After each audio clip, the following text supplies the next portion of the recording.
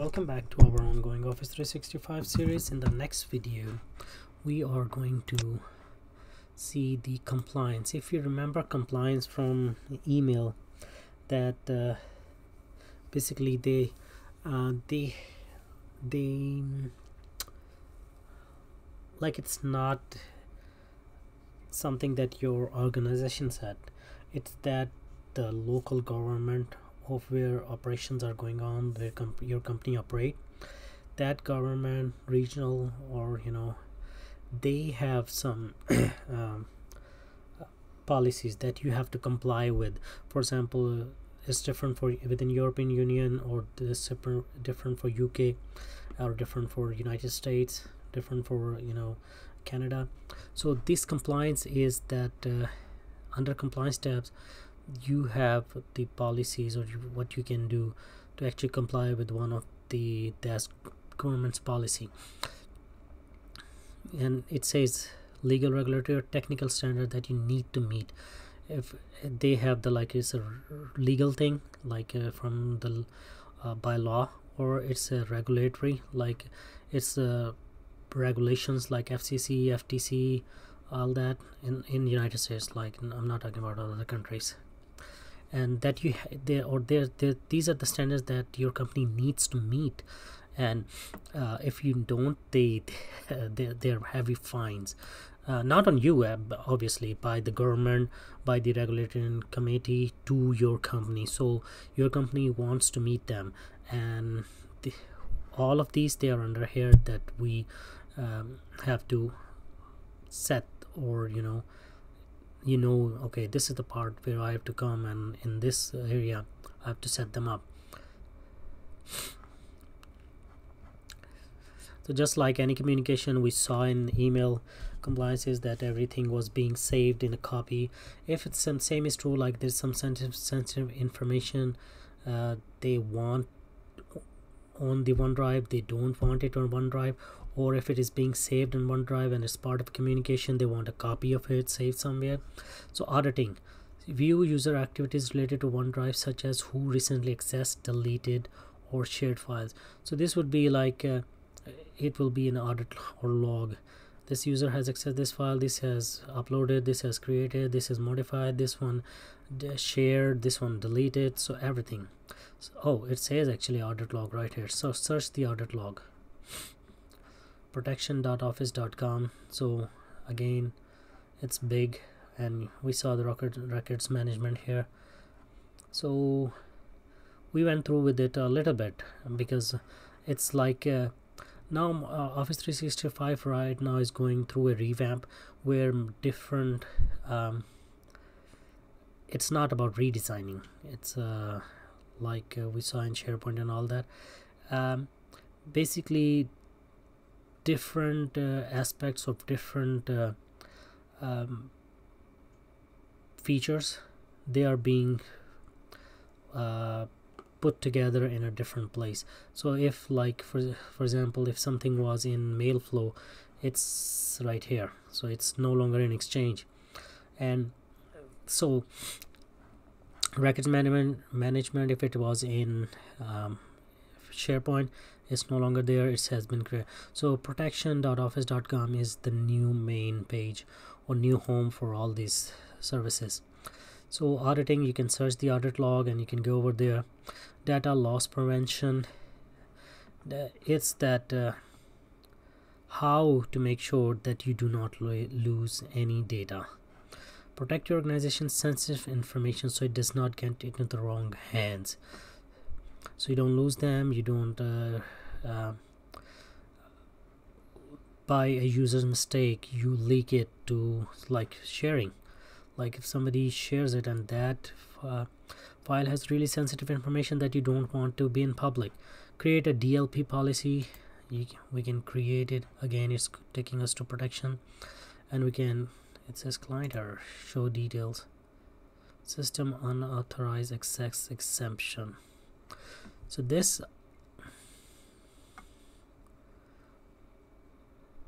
so it's saying that either you don't have the permission or um, you don't have it as a part of your 365 subscription since I have the uh, business.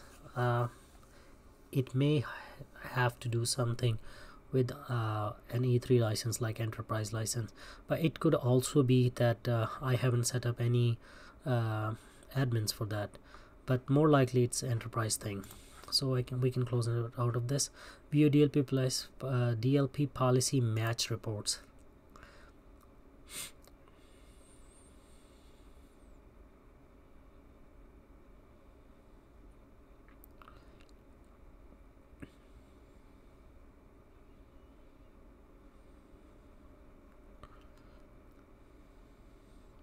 so I see no data available. I am like uh, try to avoid all these reports uh, not to go in there. The reason is that I want to go and explore everything before come back to uh, reports. So by that time we come back here uh, Office 365 has other activities. Like once we are doing uh, OneDrive I'm gonna upload a few files to uh, OneDrive for Business and you know so the once we come back to reports we can see actually some data rather than to say oh there's no data available. That will not be a fun and that will not be learning. So let's get exit out of here. Retention. Retention is again how long you want OneDrive to keep the files. We saw in here in excess that uh, uh, to preserve. And this is for the compliance like uh, if there is a regulation then you can uh, so we can create a policy here I believe. Name your policy. Preserve and retain. Description none. Let's go to settings. If I click next it should go to setting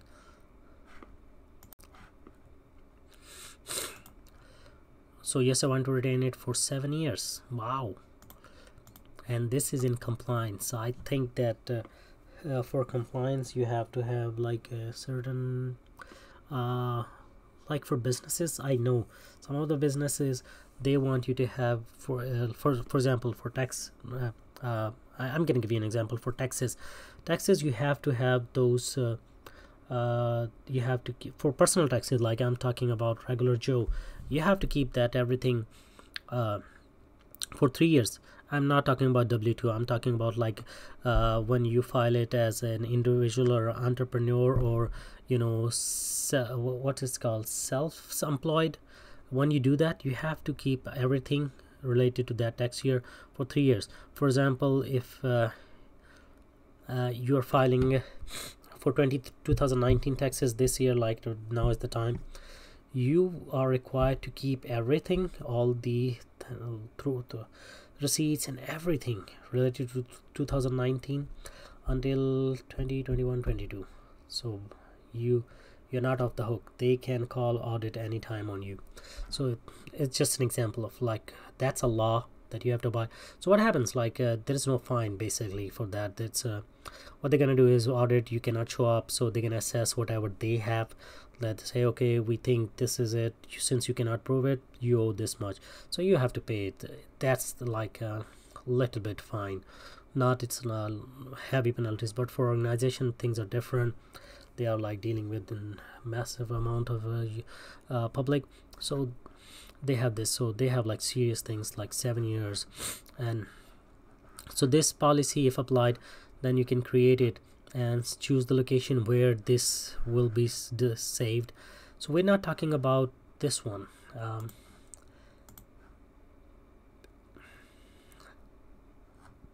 this is not this uh, no I'm sorry in storage. So this retention is different than compliance retention. What's the difference? That retention the this retention is only for you. When a user leaves you want to retain the files and you don't want to make a mistake right? So you if you're clever and you're not quick you want to say okay we have this so we really don't have to you know worry about this because even if the this gets deleted okay um, I can retrieve it. No do not.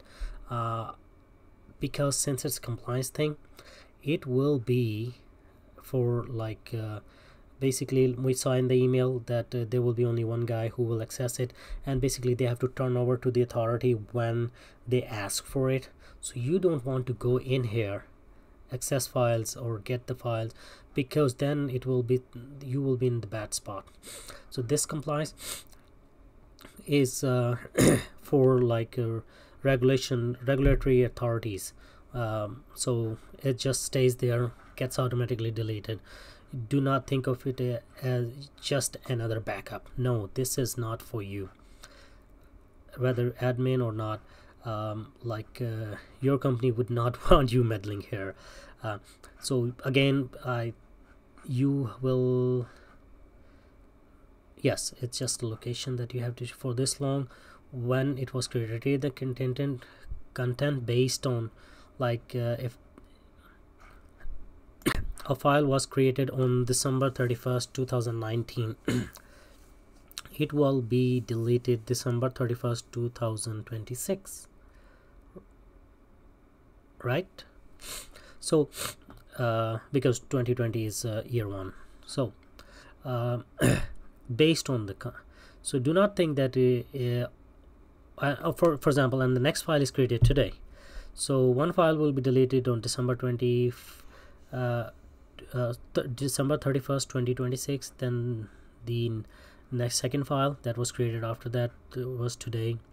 It will be deleted on January 14 uh, 2027 so it's this option is about that. Do you want to do you want us to delete it after this time? Yes or no? So let's see what this means.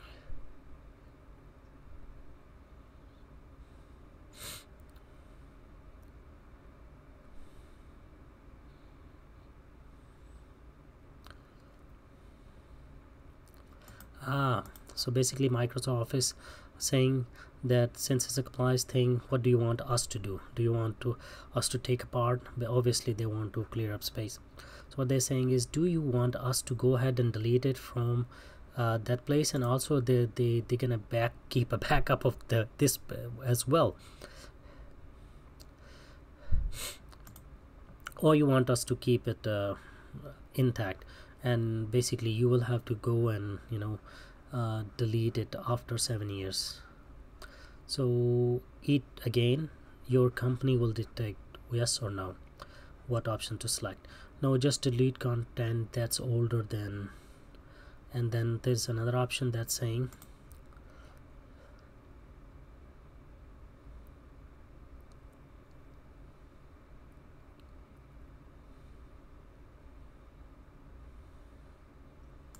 so basically it's saying is though yes I want to retain it or if you have like uh, you have to abide by law.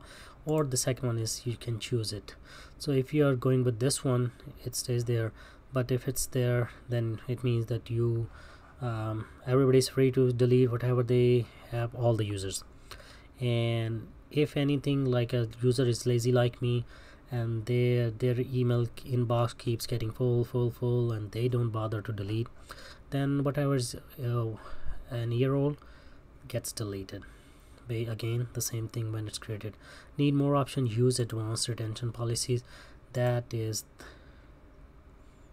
detect content that's sensitive specific words or phrases. So you go with it like uh, you basically define them. So if you go you have to enter the uh, those keywords or everything or you want it to detect content that it will scan it and you have to go and put them in. About what like it's a uh, medical and health records financial records uh, privacy related record. So we're gonna go with just the first one and see what it gives us the location. So where do you want to choose specific location email public folder of group OneDrive and SharePoint. Or you want to you know do you want to policy onto everything or you want to uh, like customize it further? So these are on these are off. If you are it, you will turn them on based on the dictation of your company which will dictate get this uh, dictation from the uh, law or regulation that they have to comply so again what's included what's excluded you see none none. So and if you go you have to review your setting and create this policy. I'm not going to do that again. So let's go back to OneDrive and compliance. E-discovery if you remember we saw that that if you want to discover something uh, like you have to search about a case uh, it's an like ongoing thing. Like I give you an example. Uh, if a user says that hey okay we I have this issue ongoing. I've been calling in for this many days weeks or months so they can actually search it by the account number user number uh, phone number address anything. So let's see what's in e-discovery and how to use it oh it's I think it's exactly the same. So you enter the case number name and description and then you add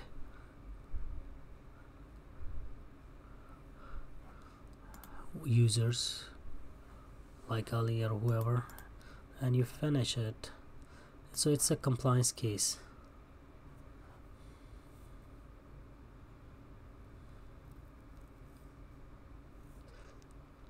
so basically you have to create a case. Uh, you have to make a user uh, an admin of that case and then that user has to follow up with that. Again it's a let's see uh, 01 14 20 20 case number. Description testing. Let's uh, give a we are burdening Ali a lot poor guy right? So this is created and all that so what's next?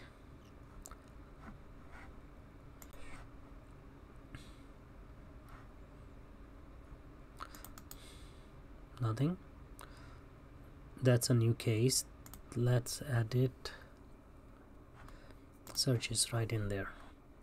So we can search right? All case content search anywhere custom location selection and all that. So exports members who are the members right now ali is holds what is hold? Create a new hold. Mailboxes okay sites.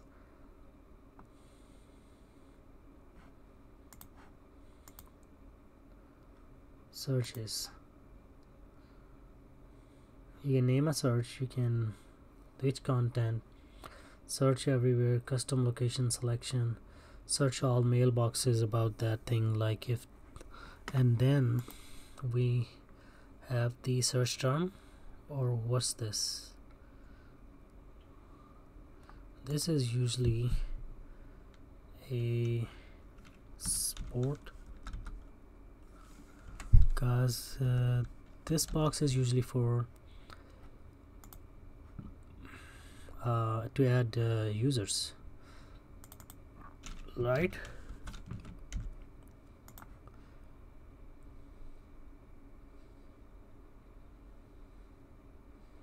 Yep.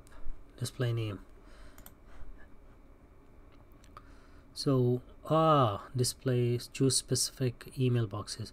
If I click search all, my, all mailboxes it's gonna search everyone but if it's like a specific then you can say so remember we are doing from the admin section. And you will be doing if they ask you to run report and then give the them you want to search public folders or not?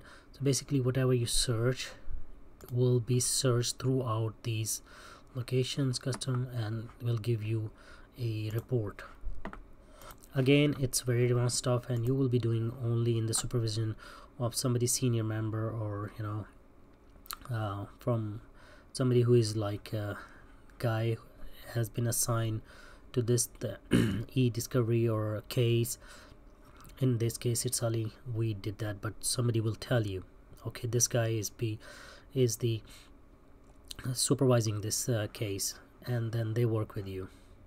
So they will give you the keywords they will tell you where to search and all that and once you get that you get back to them and tell them okay here it is what you needed. Get notified when user performs specific activities in OneDrive.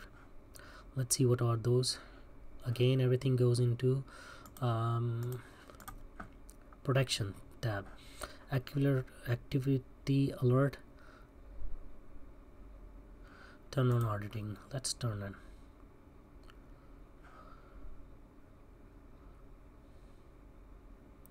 couple of hours see?